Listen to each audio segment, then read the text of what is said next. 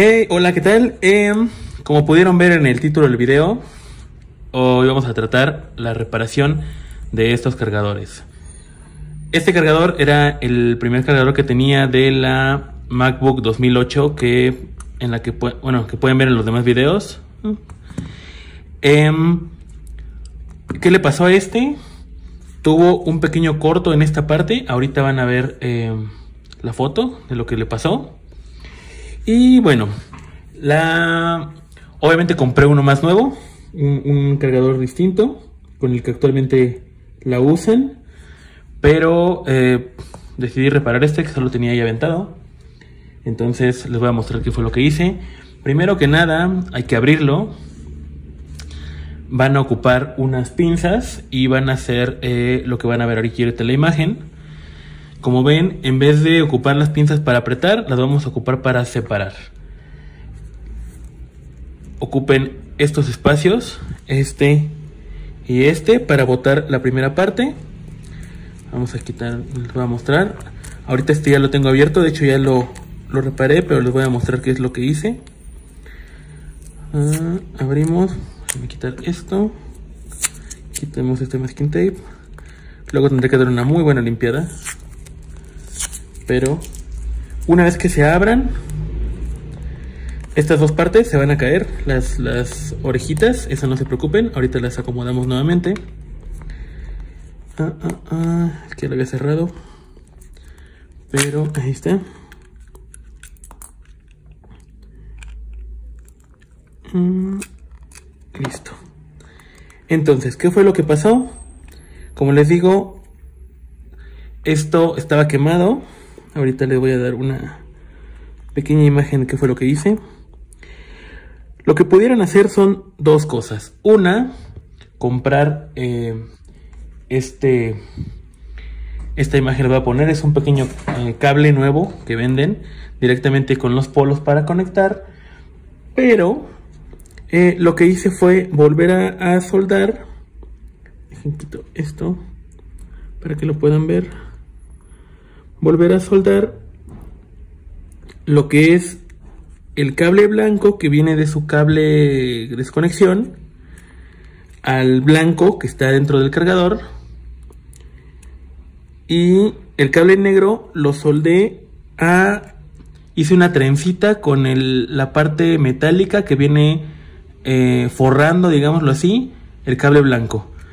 Entonces lo que hice fue soldar el cable blanco con el cable blanco y el, el forro metálico con el cable negro.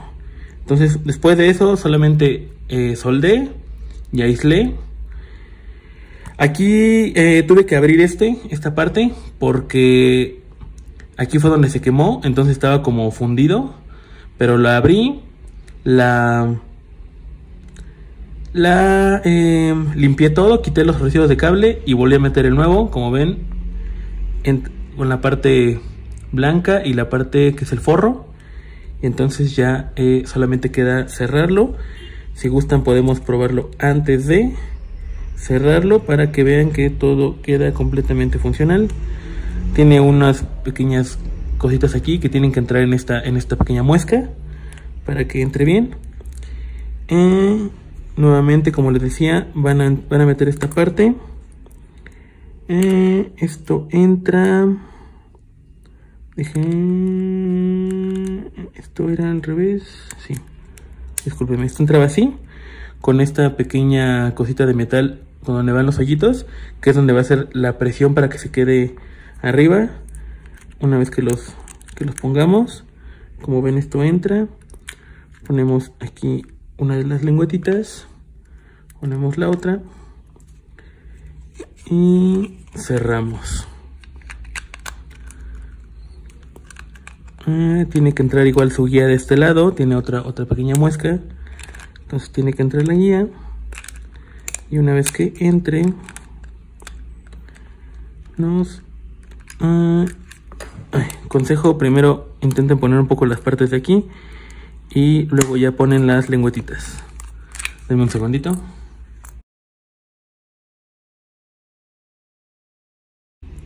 Listo.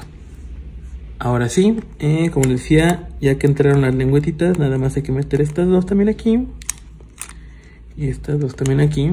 Miren, como ven, aquí lo intenté ver con un desarmador. No, error. Ocupen las pinzas. Es lo más fácil. Y listo. Ahora que está cerrado, aquí igual intenté meter un desarmador. Mala idea. Vamos a probarlo. Listo, aquí como ven ya está, aún no lo he cerrado, sigue un poco abierto. Ahorita nada más pegamos esto, pero vamos a hacer la prueba de que ya funciona nuevamente. Conectamos a la corriente y como ustedes saben tiene que prender en verde. Bueno, tiene que prender, en este momento está verde porque está cargada, pero oficialmente funciona. Quitamos ponemos. Y como pueden ver está cargando. Mi pila ya no aguanta mucho de esta pero aquí está cargando. Entonces todo funciona perfectamente bien. Espero les haya servido de mucho este pequeño video. Eh, no se olviden suscribir y espero traerles pronto más cosas. Nos vemos